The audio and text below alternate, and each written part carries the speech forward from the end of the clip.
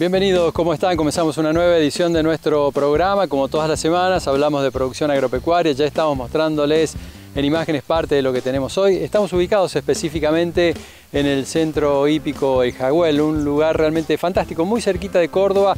Ya vamos a estar hablando con el titular de este espacio, contándoles un poco cuáles son las actividades, como para que los que están aquí en Córdoba Capital se puedan llegar y disfrutar, como digo, de este lugar maravilloso que está muy cerquita de, de la capital.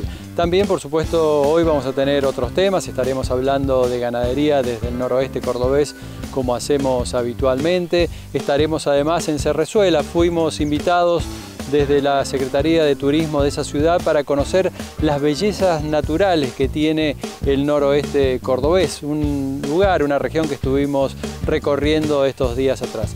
Vamos a los contenidos, los avances. Le presentamos parte de estos materiales que ya le he ido adelantando a través de los testimonios de nuestros protagonistas de hoy y después nos metemos de lleno al desarrollo de todo el material preparado para esta edición. Comenzamos a repasar los temas de hoy.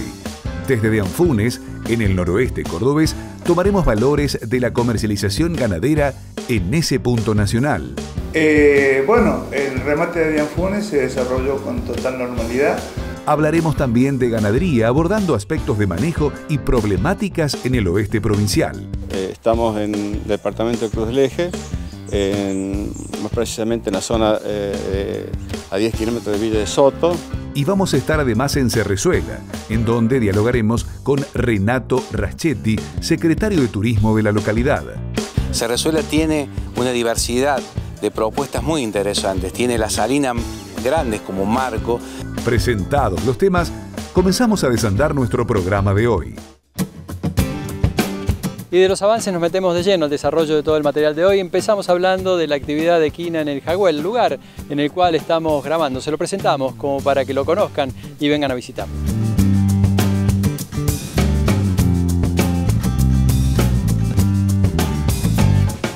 Paisa, comentanos a dónde nos encontramos y básicamente qué actividades estás desarrollando acá. Bueno, acá estamos en el Ecuestre, camino al pan de azúcar, sobre la zona rural ya, este, pero muy cerquita de Villa Allende. Este es un lugar maravilloso, eh, realmente increíble para la gente que vive en la ciudad y que tener este espacio tan cerca. ¿no?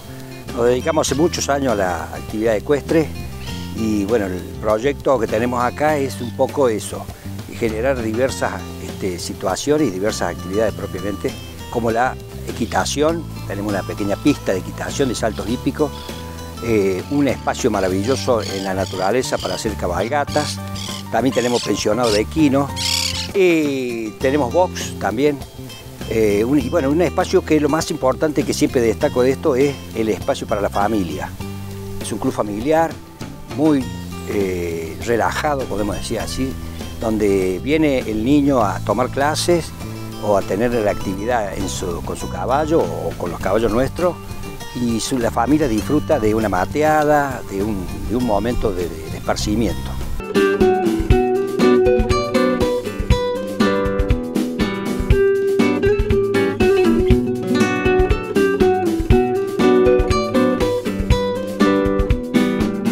Enseguida vamos a regresar al Jagüel, vamos a continuar hablando con el Paisa sobre las actividades de este lugar. Cambiamos ahora de tema y nos vamos al noroeste cordobés para hablar de ganadería.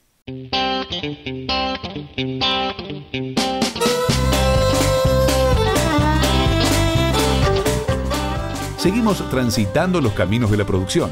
Nos instalamos ahora en los bañados de Soto, en el departamento Cruz del Eje. Al lugar llegábamos con Gustavo Orodén, productor de la región, con quien abordábamos manejo, potencialidades y limitaciones de la ganadería en esta zona cordobesa. Eh, estamos en el departamento de Cruz del Eje, más precisamente en la zona eh, a 10 kilómetros de Villa de Soto. Eh, este paraje se denomina Bañado de Soto. estamos en esta zona con un promedio anual de 350 milímetros y estamos desarrollando la ganadería, más especialmente la cría.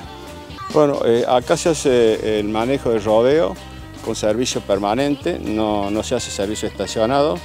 Eh, hemos, eh, tenemos buenos resultados, un poquito más, nos demanda más tiempo en la atención del mismo, pero los resultados dan para seguir sosteniéndolo. Y estamos trabajando con un, un Bradford y como repito se hace todo crío.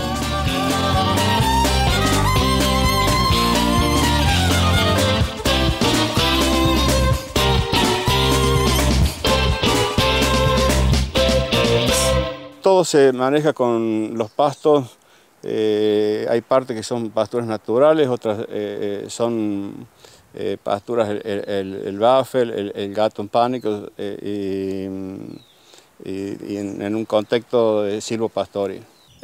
bueno, con respecto a, el comportamiento de las megatérmicas, tanto del, gato con el, buffel, depende pura y exclusivamente del año y de la forma que se den las lluvias. Eh, de acuerdo a eso, estamos eh, este año gozando de, eh, en, este, en este lugar de un privilegio porque hemos tenido un, buen milimetraje en, un lapso corto de tiempo, así que mm, estamos hoy por hoy bien posicionados en cuanto al tema pastura. todo lo que se realiza acá se hace en base a eso, al, manejo de, de las praderas, no se suplementa en ningún momento ningún tipo de categoría, y se hace la recría, se hace la reposición de vientre eh, con animales de, producción propia. El desarrollo productivo de estos ambientes está ligado a varios aspectos.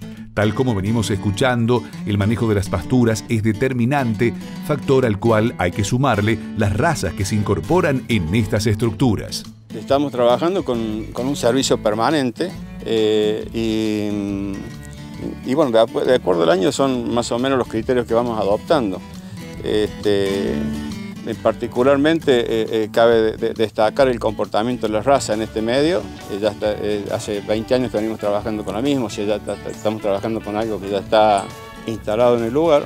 ¿no? Y, y bueno, los resultados están a la vista.